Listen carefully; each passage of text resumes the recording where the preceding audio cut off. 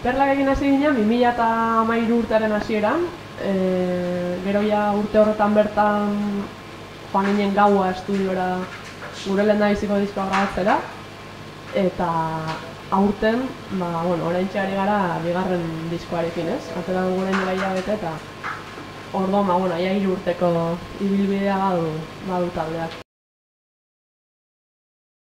Ba, bueno, basiko egiten deuna da sentitzen deuna espresatu, ez? Ez gara sekula jun bila e, estilo konkretu bat, edo la ez da deun barrutik ateatzen zaiguna, eta bai askotan etiketatu izan gaituzte eta guk ere erabili deu pospunkan etiketa hori, ez?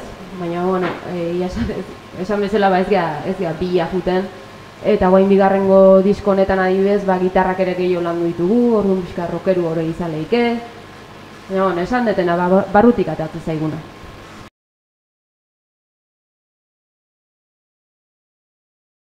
Ez dakigulako beste modu batera espresatzen igual sinceroki, ez, e, euskeraz ez bada, e, guk euk, e, ez daukagu olako maila ere beste hizkuntzetan ere nahiko genuke, baina igual aleman ez dugu disko bat, zein edaki.